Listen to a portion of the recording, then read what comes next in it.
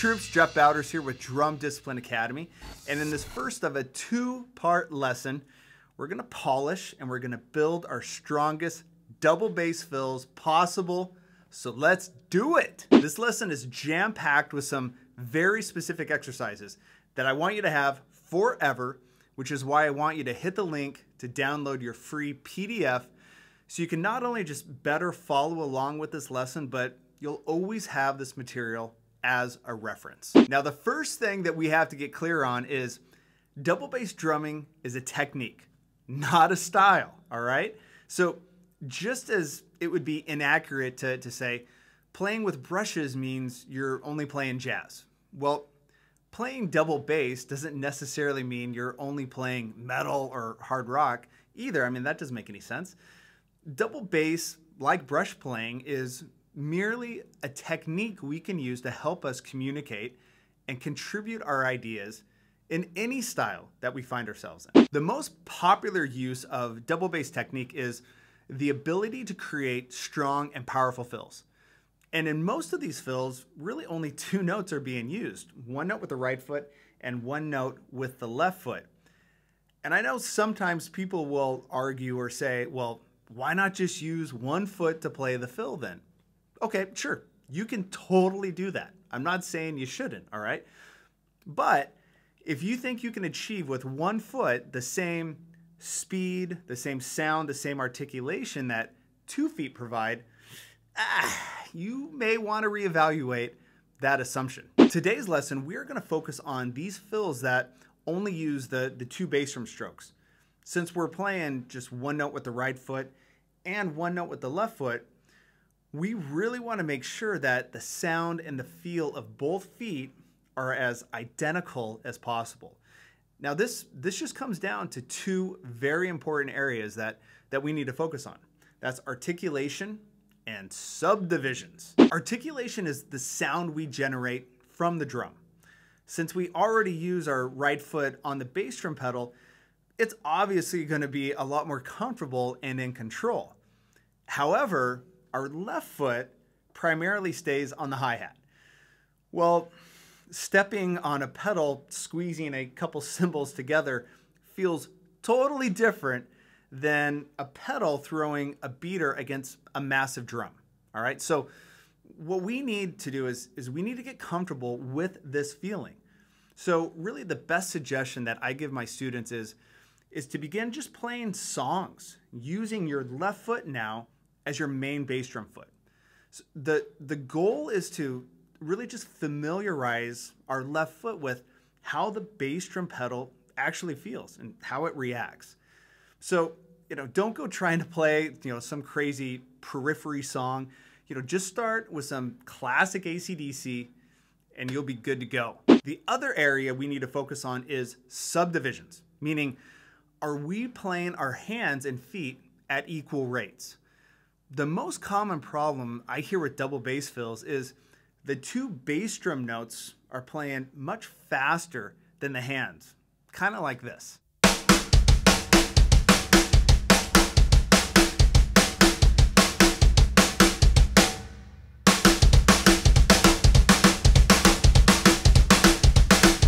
Now our aim is really to play each note with the same note value or the same amount of space in between all of the notes, more like this.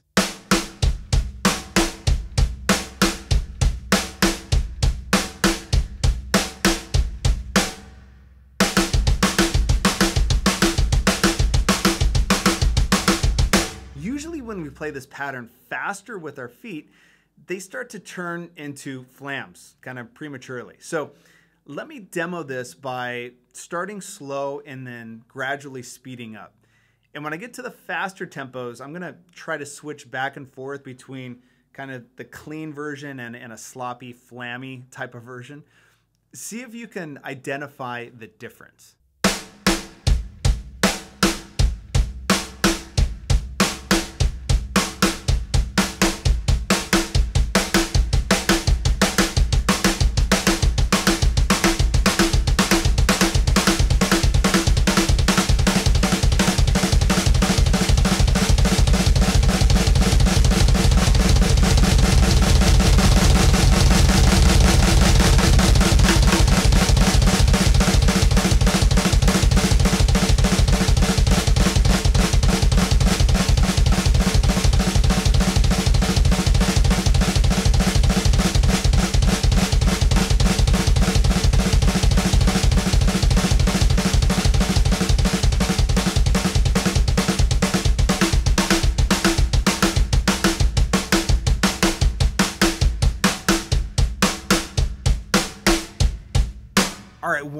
Best ways to get hyper focused on playing these two kick notes as evenly as possible is to play them in unison with our hands.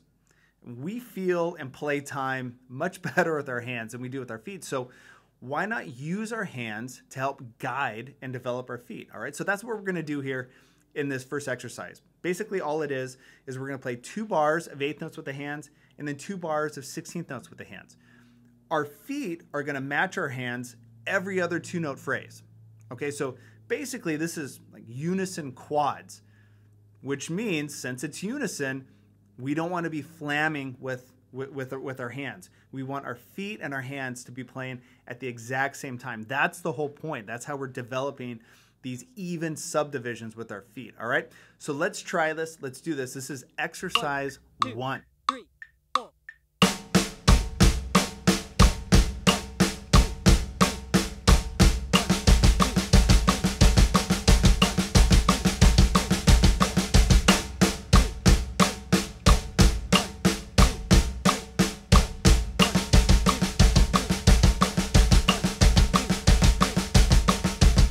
Now let's try the linear version of that exercise.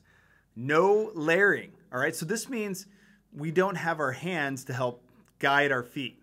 So make sure you're subdividing every note as even as possible. Let's try it. This is exercise two.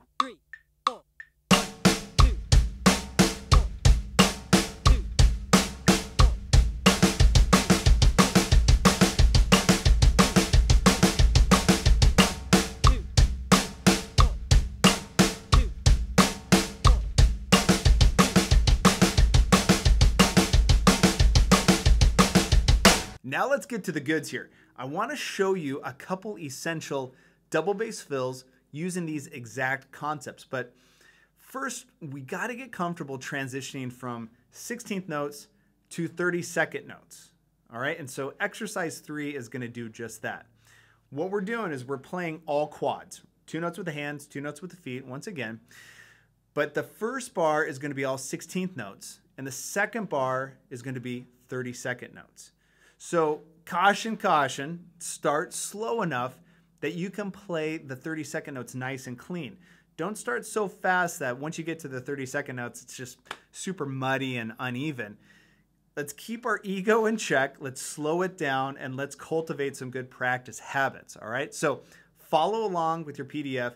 Check this out. This is exercise three.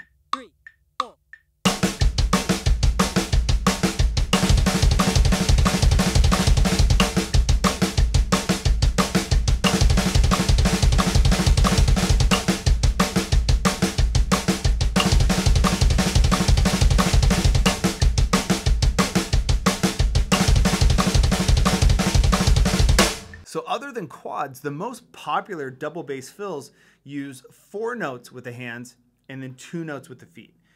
This is usually combined with quads to create some of those classic phrasing double bass concepts we all know and love. We've heard a thousand times.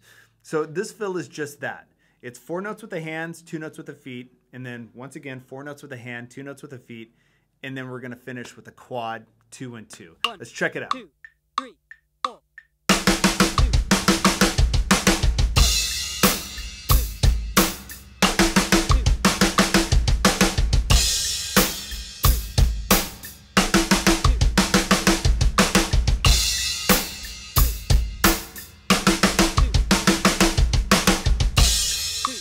Just as we prepared for this, let's play it as 30 second notes now.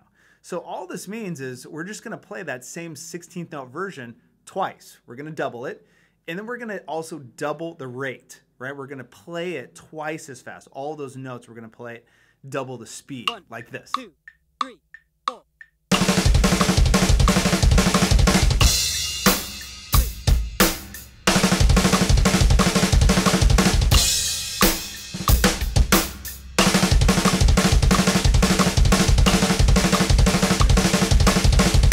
Now, the secret to turning one fill into a thousand, it's it's orchestrations. How do we apply these hand-foot combinations to the multiple voices of our kit?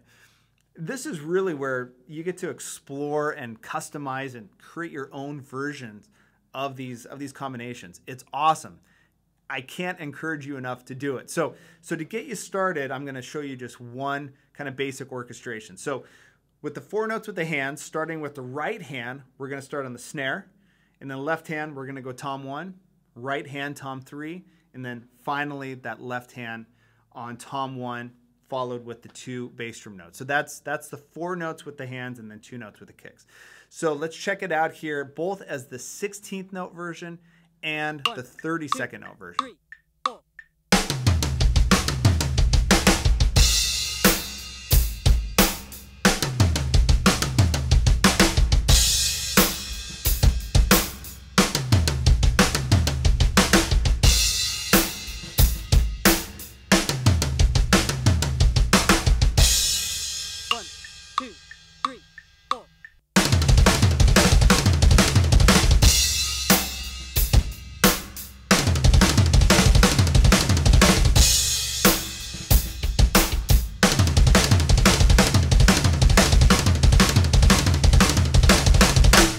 Because that was so much fun, let's just do one more. Basically, it's the same thing. We're we're gonna have two six note phrases and one four note phrase or, or quad. The difference is we're now gonna start with the two notes with the feet. So now it's gonna be right foot, left foot, and then four notes with the hands. And then the quad is gonna be the reverse, right? It's gonna be right foot, left foot, and then right hand, left hand. It's gonna be awesome. It's going to sound a little bit different, but the thing is, coordination wise, it's the exact same thing. There's nothing different here. So let's check out the 16th note and the 32nd note version. This is going to be exercise 5A and 5B on your PDF.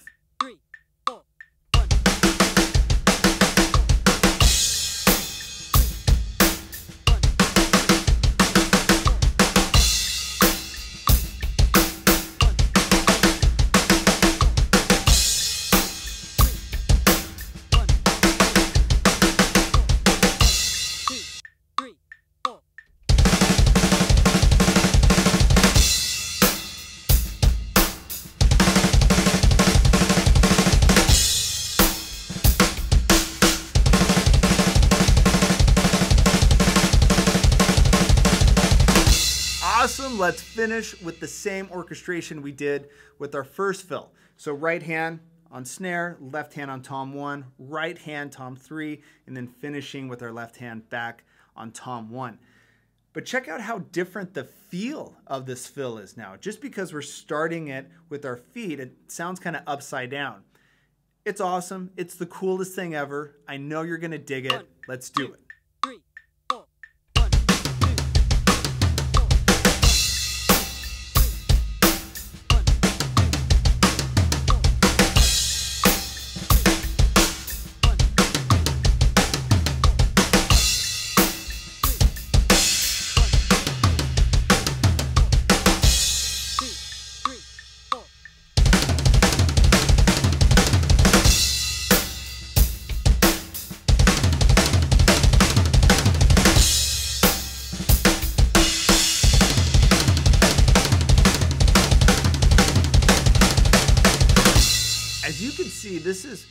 Is really just the beginning of literally limitless possibilities, which is which is why these fills are so popular. I mean, with all the different orchestration possibilities and all the different combinations, it, it is endless. And it's super fun to get lost in, in the sea of double bass drum fills. And I can't wait for you to experience that and come up with your own ideas too. But in the meantime, I want to make sure that you keep mindful of playing these with with integrity and playing them with consistency. Because as we as we experience they can get pretty messy pretty quickly. So and nobody wants to hear that. But the thing is if you practice this with with purpose and you're you're playing with intent and you're making every note count that mindset is really going to take effect in not only your double bass fills but every area of your playing and that's what I want you to experience. it and, and if you can do that, I guarantee your plan is just going to go to the next level. As always, thank you for checking out this lesson. If this helped you uh, focus on how, how to play or how to approach practicing your double bass fills, can you please like, subscribe, share, you know, all that good stuff? That would help out a ton, and I would greatly appreciate it. So let's wrap up this first lesson. In lesson two, we're gonna focus on eighth and 16th note triplets and making sure we're playing them to the best of our ability. I can't wait. It's gonna be awesome. So until then, stay focused, practice with purpose. We'll see you soon.